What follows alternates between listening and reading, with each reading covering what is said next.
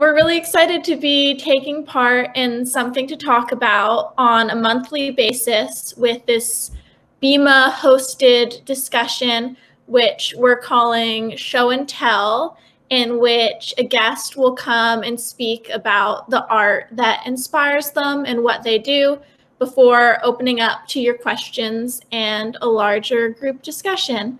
So today I'm joined by Kristin Tollefson. Take it away.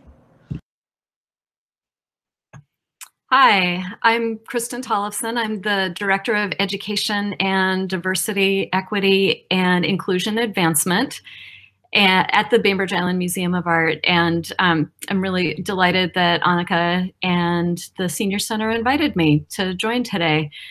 Um, this is a great this is actually a great excuse and opportunity for me to share something that has been a part of my life for a long time. I, when Anika and I were talking about this program, and um, you know, of course, we would like to pe have people looping into the work that's on display at the art museum but we also recognize that art what we really want is for people to connect with art on you know at every point in their lives or find things that are um, visually stimulating and want to talk about them. So um, this is a good opportunity for me to share a little bit about both about myself and about uh, a work of art. So i'm going to make an attempt here to share again. I am going to talk about the artist Käthe Kollwitz um, the interesting thing in my mind about Käthe Kollwitz really was that she, you know, we I started learning about her when I was quite young. Um, I was probably 19 years old when I first came across Käthe's work. And um, here's a slide showing some comments that were given to me after I first presented my research about her work. I, I was an art history major in college and um, probably a really early, I well before college, I was a contrarian. And so when I when it came to the time to select the artists that I wanted to delve into for my senior comprehensive writing project and presentation, I, I didn't want to just go with a a well-known painter or somebody I had learned about in when I did my study abroad in Italy. I, I was really interested in this idea of art and social justice very early on. Um, so here's me, right around the time that I was getting my first um, exposure to Käthe, Käthe's work. That one now you're seeing it? We're not seeing you. We're seeing. You're seeing a. It's the peasant uprising. Yeah, that's that sounds like a good title. Okay. okay. Um. So, Käthe's work struck me for obvious reasons. This is uh, this is one of her most famous works um, that really sums up the quality of um, both her skill as the printmaker and the the content, the the topic that she was really delving into.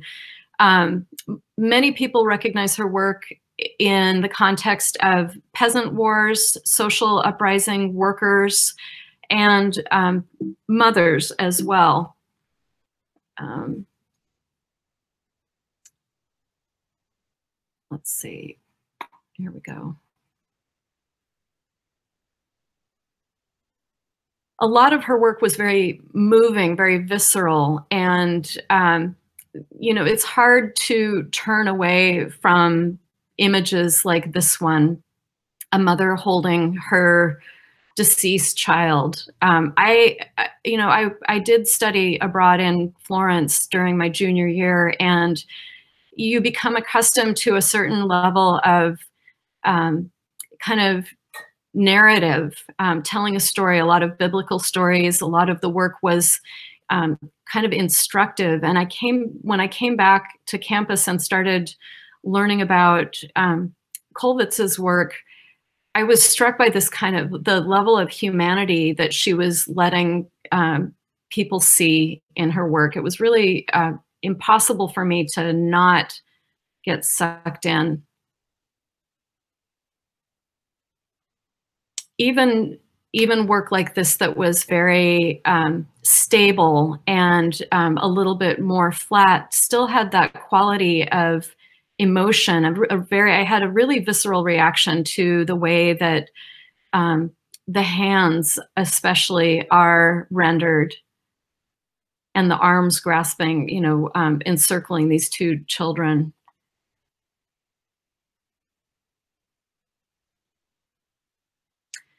But what you see running through her body of work is a series of self-portraits. Um, she did self-portraits at many different stages of her life and um, go to the next slide and also had a number of self of portraits taken of her um, so you can see that her rendering the um, the way that she depicted herself was strikingly accurate, but also really unforgiving. Um, she did not try to elevate or glorify or smooth over and the energy and you can see this in particular in this work in the background the energy of the strokes on the arm um, there's just a very uh, visible tactile connection between what I was seeing and what I learned about her, which was that she was uh, she was an incredibly strong and um, early dedicated to her artwork person. She was encouraged by her father to pursue her artwork. She, although she met her husband when she was quite young and married quite young, um, she pursued her work throughout her life and wove her personal story into her artwork as well. Um, So we're going to go to the next slide.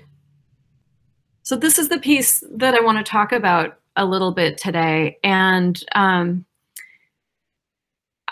I just want to tell you the story behind it, which is that um, in all this research that I was doing on Kate Kollwitz, I was a student in Minnesota at Carleton College in the mid late 80s. And the things that were accessible to me in learning about her were really getting copies of articles through interlibrary loan or copies of books and there were not very many at that time written about this artist who kind of fell outside of mainstream art history she she was definitely recognized as a technical you know as a technical wonder in printmaking especially lithography which is a printmaking on stone using stone as the plate and her etchings. Um, but even in the mid late 80s, the art historical canon was centered on painting and sculpture and um, sometimes architecture, but not really even photography or printmaking. A lot of um, that was considered kind of potentially outside or cutting edge. Um, when you looked back at the at the long history of art. So her work had not been recognized to the degree that it is now. And I think there are a number of other women artists who've seen later exposure and um, really kind of come out from behind the the male dominated field, especially I'm talking about Western art, art history right now. Um, so I really hadn't, I had never seen her work in person but you know you look at this reproduction on the screen and again like i say the the energy that she put into rendering her face and the hand and the variation of line and the really absolute embrace of dark and light she was unafraid to make a shadow unafraid to make a, a jagged line it was really evident even in the copies of work that I was looking at. And it wasn't until um, I'm going to say 2015, uh, maybe 2015, when I saw her work in person at Davidson Galleries in Seattle. And um, for those of you who don't know, Davidson Galleries has, uh, they show a lot of different work, but they do specialize in print, um, prints, different kinds of prints.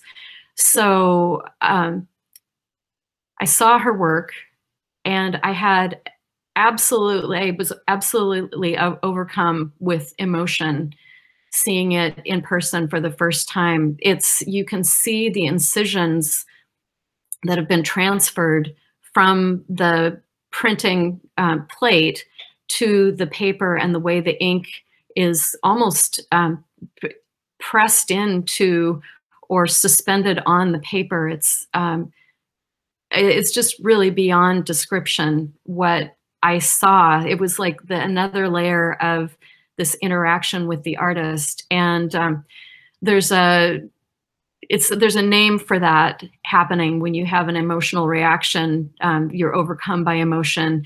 It's called Stendhal syndrome, and it was named after a um, a Swedish.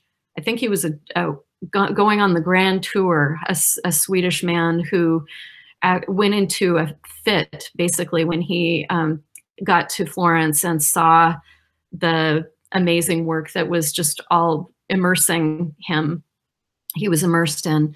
So um, I had a little touch of the Stendhal syndrome there in the gallery. And um, my partner at the time made note of that. And so flash forward six months later, um, we were in the car together and he presented me with a paper wrapped gift and inside was a copy of this print. And so um, years later, after having this really intimate relationship with an artist over the course of time and um, having this really intimate exchange with the work in person, I was the became the proud owner of one of her works. So I'm going to go ahead and stop presenting so I can show you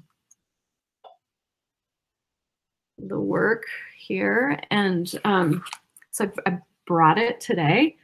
This is this is what it looks like. And um, it resides in my bedroom right next to my bed. I see it twice a day, getting up and getting into bed. And um, it's just become a real integrated part of my life. And uh, my the story has grown around it. Um, I I'll tell you another piece of the story that um, is interesting too. I, you can see that the the work is a square format and it's pretty small. It's um, less than 12 inches square. Um, when this work was actually created as a print, the print paper was probably uh, 24 inches long and quite a bit wider, maybe 18 inches wide. And um, when my partner took it to the, my partner at the time, uh, took it to have it framed, he, he was telling me that he, uh, the framer was really indignant about, um, you know, like not cutting it down. And in fact, it is a small uh, crime to cut down an original print like this. So what I have is a very, it's like doubly personal because um, if I were to try to sell this on the resale market, which of course I would never do, but um, it's it's lost some value because it's been the paper, the original paper has been cut. So in a way, it's like a second impression. Um, the print itself, the the image, the print itself, maybe a third impression that um, there's been this interaction uh, beyond the original artist. So that is the work that uh, that I wanted to share today, and um, I'm happy to to talk more about Käthe Kollwitz's work or what. Um, it was so interesting. I'll just say I I don't really consider myself a hoarder, but I did come across as I was preparing for today um, all of my notes from my my thesis just for the record, I'm 53 years old now, so that would have been uh, 30, almost 35 years old that uh, this stuff is. So I, I have all my notes that I took for this project, including notes from the peer review that I was subjected to when I presented my thesis. And it's fascinating to look back at this and think about a piece of work that sticks with you through such a huge portion. I mean, that's more than half my life.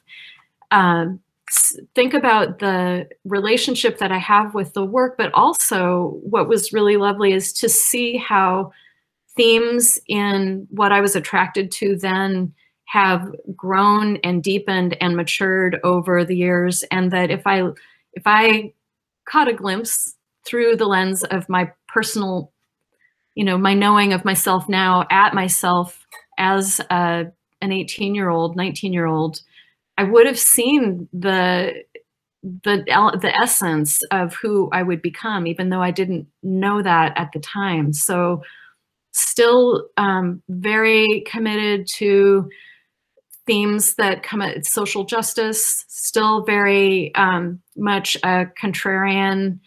Um, just ask my parents, ask my kids actually now, uh, and I just read an article that was in the New Yorker a couple, um, I think it was maybe just this last issue. Um, Peter Schjeldahl, who's been an art critic for the New Yorker for a long time, talks about his visit to the Frick Frick collect, excuse me, Frick collection, which is uh, not one of the major. Um, it's a it's a smaller collection, and he talks about how every visit is a biographical exercise that what you notice and what you are not noticing or what, what you're drawn to or what you're kind of turned off by reveals volumes about you as an individual. And um, so that's a way to make a big loop back to BIMA and just to encourage everybody here to whether you're going into the museum or you're looking at a book or you're having a conversation with somebody about something that you're seeing, those there's always this really rich repository of information in there about where you can learn more about yourself by looking at and talking about, especially with other people. But you can do it on your own too. So. Kristin, um, I when I was looking at her drawings, I one thing that just really struck me was the maternal protection. Mm-hmm. I mean that uh, you know, if anybody's here is a mother, and I think maybe a few of us are, is that the, there that she described that so well.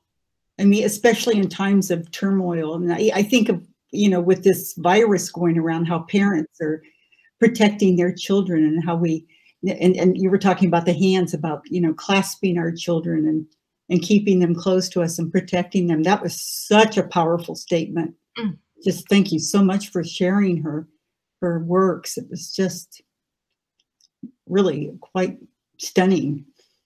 Well and the one of the things that's interesting about her work is that she was making those images um, as an as a young mother, but before that also. So she had this.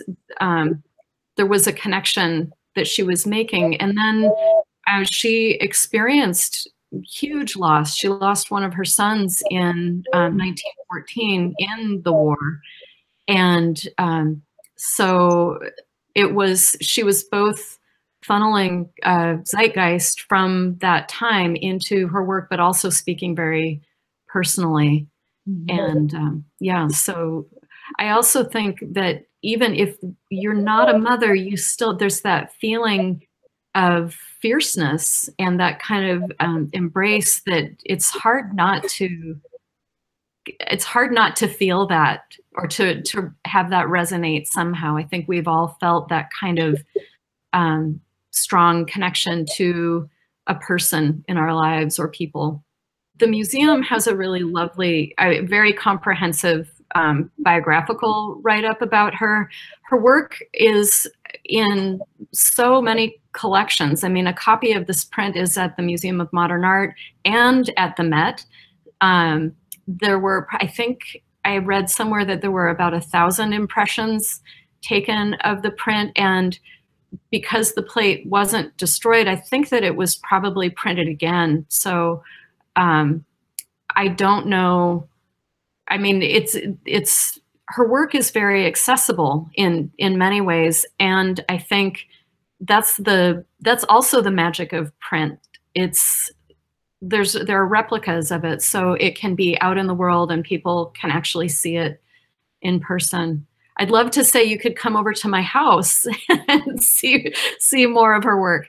Um, but it is really it's there's a lot there have been shows of her work now there's a lot more um, scholarship that's been done writing about her um, she was unique in many ways i mentioned that her dad had been very encouraging of her as an artist and she was she had she was recognized as having technical talent very early on and she continued to make that a focal point in her life even after um, writing in her journal that she had some second thoughts about getting married so young. She wondered if she had done the right thing. So, um, so many levels that we can identify with there.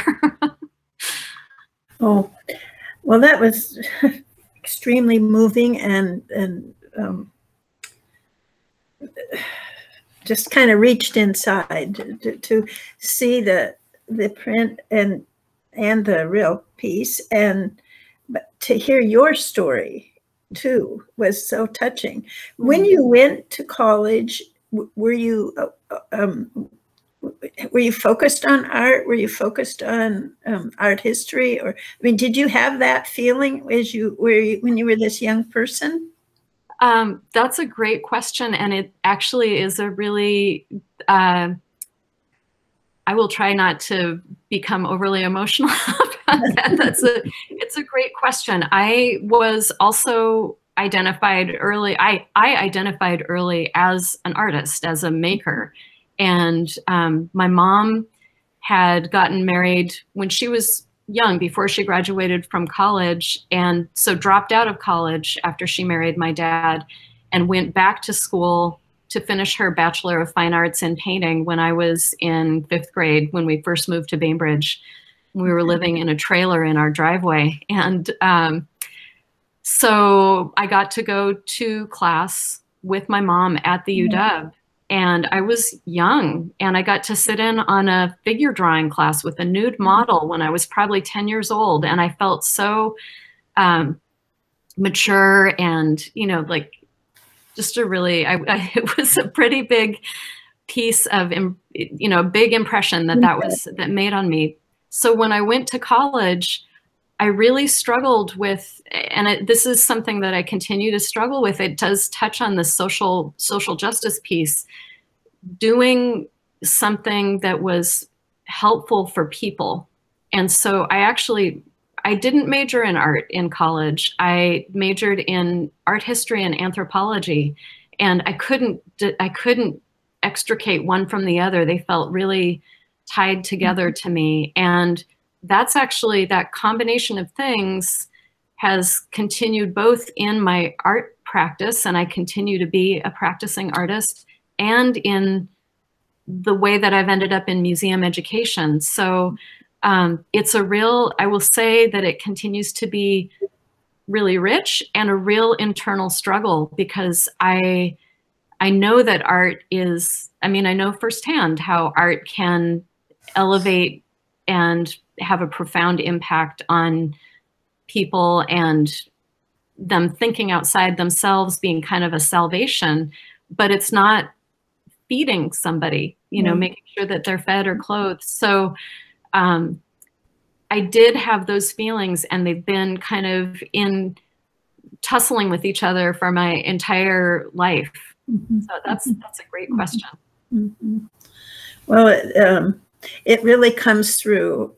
I mean, the the marriage of these poles uh, uh, really comes through um, the great strength that you seems uh, as I'm observing this is that here you are able to, you're still continuing with your artwork, but you're you're doing these social. You have this um, platform which you might not have had if you were just went one way, but you've had this platform that's reaching others in a big way. So it's it's very touching. Hmm. Very. Thank, thank you, Bonnie. I'm kind of crying to myself. I mean, you know what I mean? It's just a, it's really had a punch. So Oh, thank you, you. have a very softness about you, but this was very strong. Oh, thank you. Beautiful. I also want to say that I know a future guest will be Allison Kettering, who, um, in a big circle connection, uh, was my art history professor in college, and she has retired to Bainbridge Island. Wow. And she will be talking about, I don't want to blow her cover, but she'll be talking about Fred Hagstrom's work. And Fred was a professor with Allison and also one of my professors and has a very lovely book that is in the collection at BIMA that talks about the Japanese exclusion story through the lens of a student who went to Carleton um, during the war and whose family, who's from Seattle. And so, um, yeah, Oh, it's again very meaningful. Yes. Oh, that'd be wonderful. That will be in April, is when Allison will be guesting, Yeah. which I, I think it will just it will be wonderful. And also, um, yeah, she's just so knowledgeable about his work on a personal and a more like art historic level, and it will be a really nice introduction to all the wonderful book art that we have at BIMA, which just I'm constantly surprised by how um, how rich our our collection of book art is That's specifically. great. Well, and I want to say thanks to Anika for making this happen. Um, I know Anika introduced themselves already, but uh, I can't say enough about having their help this year. We are um, just, it, we just really hit the jackpot. So thanks, Anika. Well, I'm I'm very very happy to be here, and I'm so happy that um, we finally were able to to bring a little uh, BIMA to the something to talk about.